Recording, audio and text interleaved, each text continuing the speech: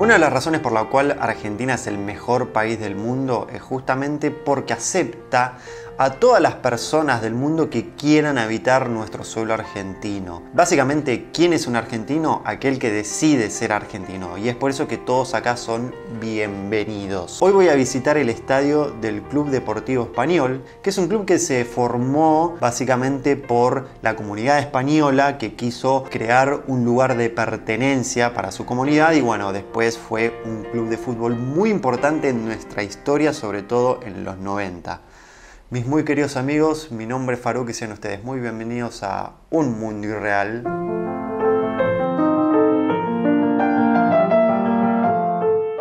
El estadio queda en el barrio de Parque Avellaneda. Yo pensé que quedaba en Soldati o en Lugano porque en realidad está ahí como pegado a esos barrios. O sea, es Parque Avellaneda, pero en realidad es, tiene como más la estética de Soldati. Bueno, me tengo que tomar el 7, un 7 específico, o sea, el colectivo 7. decir algo. Ah, me anoté todo un papel con un montón de cosas de la historia, datos, etcétera, etcétera, para ir contando a lo largo del video y me olvidé de traerlo, así que bueno, iré contando lo que me vaya acordando.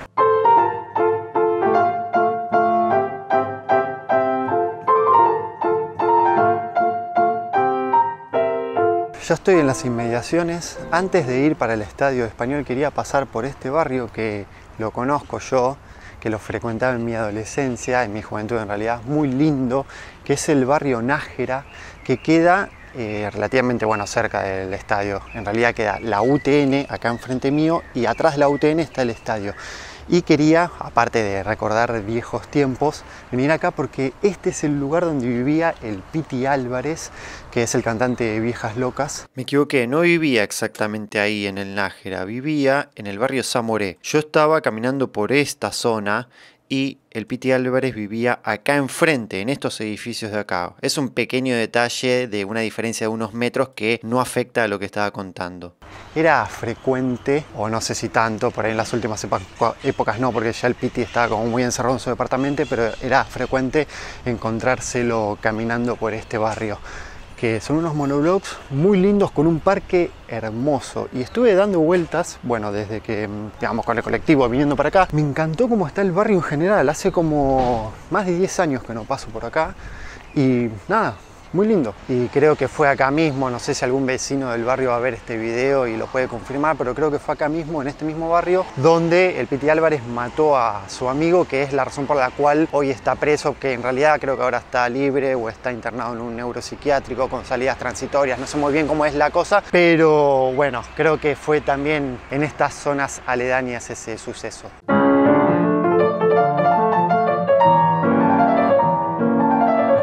Pasé un rato por la UTN porque quería ir al baño. Obviamente me dejaron pasar porque es una universidad pública. La verdad que una maravilla las instalaciones. O sea, parece una universidad privada de primer nivel. Privado en el sentido, se sobreentiende, ¿no? En el sentido de cómo está todo cuidado y bueno, etcétera, etcétera. Y acá atrás mío es el campus de la UTN, que bueno, hay canchas de fútbol. Eh, yo vine alguna que otra vez acá a hacer un concierto con una orquesta, porque yo tocaba en la orquesta la UTN, entonces hacíamos conciertos de graduación acá. Nada, la verdad una maravilla. Me dio una idea de poder hacer una serie de establecimientos educativos, universidades. Mi mismo amigo que me había dado la idea de hacer esta serie de videos de los estadios de la capital federal, me dijo que podía hacer eh, también una serie de videos sobre secundarios, sobre establecimientos secundarios. Eh, qué sé yo, eso ya es más complicado pero me parece que lo de las universidades es posible porque, bueno, además todos los que estudian ahí son mayores de edad, podría organizar algún tipo de, no sé, entrevistas a los estudiantes, ver cuáles son las diferencias entre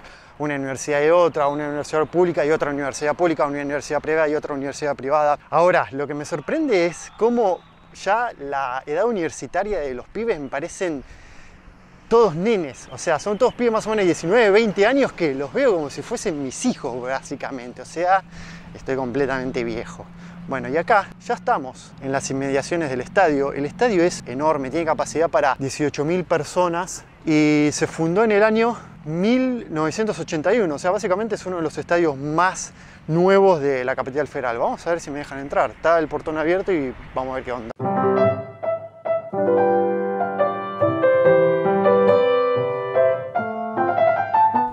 Sencillamente pasé, tuve intenciones de preguntarle a alguien a ver si podía y no me encontré a nadie. Voy a ya hice algunas tomitas, pero igual voy a preguntar a ver si puedo caminar porque lo veo bastante abierto al estadio. Es hermoso, súper accesible. Bueno, ahora vamos a ver, pero yo hasta ahora nadie me está sacando y no me quiero vender y preguntar y que después no me dejen. Pero bueno, por respeto lo voy a hacer a ver si encuentro a alguien ahí en la puerta. Pero no, no, no me detuvo nadie, así que yo me mandé. Los accesos son comodísimos, son enormes. Se nota que en ese sentido es una cancha nueva porque le dieron bola a eso y hay bastantes. O sea, para hacer, por ejemplo, la cancha de Boca tiene mucho menos accesos y menos amplios. Para hacer un estadio de 18.000 personas tiene un montón de bocas de acceso. Eso está re bueno sobre todo porque cuando hay mucho público la salida siempre es conflictiva y acá está nada, una maravilla. Salí un ratito a ver si veía a alguien y no veía a nadie. Si alguien me viene a decir algo, bueno, obviamente me presentaré, pero nadie me vino a decir nada. Este club, para los que somos muy futboleros, siempre fue como muy emblemático, básicamente porque fue muy famoso en la época de los 80 y los 90, que fue, en su, fue su época de auge, que fue cuando estuvo en primera división. Y bueno, era un, club que dio bastante pelea dentro de lo que es la primera categoría. Después, bueno, tuvo problemas eh, de quiebra, donde tuvo que quebrar básicamente. Uno de los responsables de la quiebra de Español fue Mauricio Macri. Primeramente en 19 1993 quiso comprar a Español por 15 millones de dólares y de hecho mudarlo a Mar del Plata. Finalmente eso no ocurrió en gran parte por oposición de los socios. Una vez que ya fue presidente de Boca, Macri le prestó jugadores a Español y como Español no pudo pagar el préstamo de estos jugadores, Macri a través de Boca pidió la quiebra del club y a diferencia de otros clubes como por ejemplo Racing no tuvo un apoyo económico por el cual se pudo salvar de la quiebra.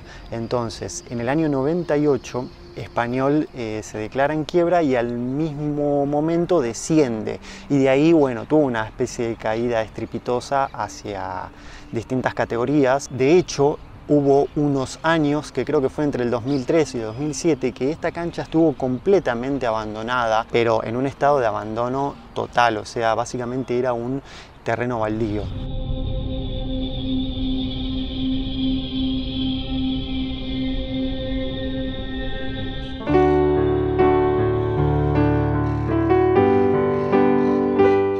El club fue fundado en el año 1956 y este estadio, como muchos otros clubes, español también estuvo como dando vuelta por distintas partes de la ciudad y bueno, vino a parar acá por tierras que le cedieron el municipio y que luego las compró. Y este estadio se inauguró en 1981 y vino a jugar acá en el partido inaugural el Deportivo La Coruña, justamente por los lazos que hay entre la comunidad española de acá y obviamente España. ¿no? Y el sistema de iluminación es bastante más nuevo que del año 81 y se instaló después. Al principio claramente la cancha no tenía iluminación. La verdad que la visibilidad acá es muy buena. Calculo que se debe ver bien desde todos los lados, salvo desde abajo, que es ni bien entras, que tenés como la cancha por encima de lo que es el piso, entonces bueno, ahí no se ve tan bien, pero si no, ya un poquito más arriba, calculo yo que a partir del décimo escalón ya se ve bárbaro, ya puedes ver toda la cancha.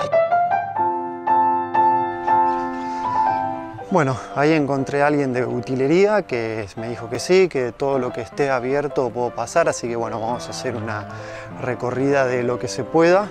Esta es como una de las populares, obviamente está como todo conectado, no hay pulmones en el medio, no hay ningún tipo de hueco salvo, bueno, por ese hueco que se ve ahí entre esa popular y la platea esa como más principal donde están las cabinas de transmisión y todo. Y bueno también ahí al fondo hay otro hueco donde se puede ver que es por donde entramos. Así que no sé cómo harán, bueno, ahora como no hay visitantes no hay problema, no sé cómo hacían en la época que había visitantes, yo calculo que esa reja había, habrá sido algún tipo de división entre los visitantes y los locales y bueno, seguro dejaban algún pulmón en el medio, qué sé yo.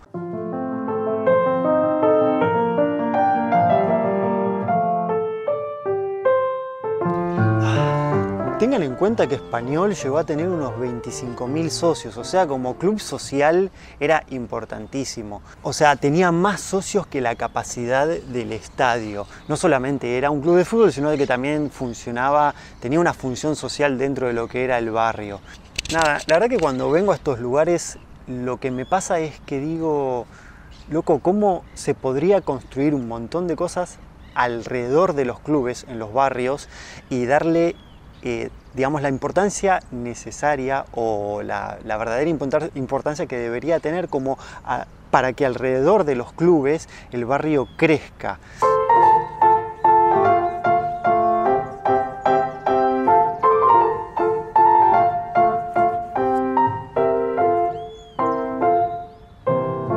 De más está decir que el clásico de Deportivo Español es italiano, teniendo en cuenta que es la segunda colectividad, sí, creo que la segunda, bueno, entre España e Italia son las dos colectividades que más inmigrantes trajo acá a Argentina, entonces obviamente por razones obvias, no por cercanía de barrio ni nada, sino por ser las dos colectividades con mayor cantidad de inmigrantes y es por eso que es el clásico.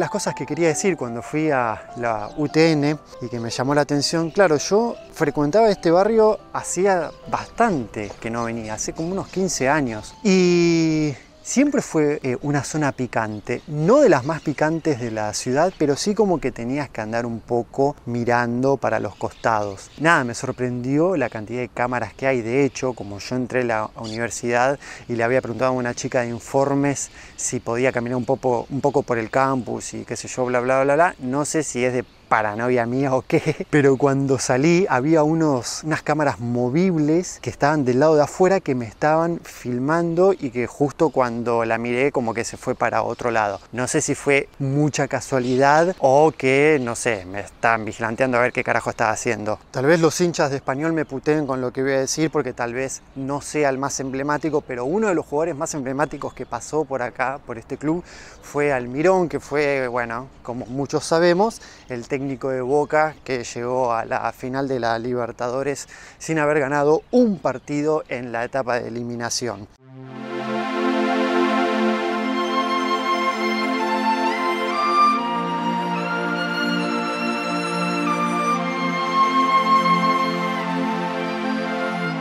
Bueno, queriditos amigos, estuvo buenísimo haber venido acá. Estoy medio tenso y cagado porque puse la cámara en un lugar donde si se me llega a caer, se me hace bosta y me cago. Ha sido muy hermoso hacer este recorrido a este hermoso estadio y a estas hermosas inmediaciones. La verdad que estuvo muy bueno. Hoy hace un calor tremendo, el sol me está matando. Es un muy lindo lugar para venir a caminar, para venir a conocer. Eh, bueno, nada, suscríbanse al canal, denle me gusta, comenten el video con lo que quieran. Yo me banco incluso también las puteadas y las críticas que tengan que hacerme, se las voy a contestar, obviamente. Y si les gusta este tipo de contenidos o cualquier tipo de contenido que estoy haciendo en el canal, que en realidad es bastante variado, suscríbanse.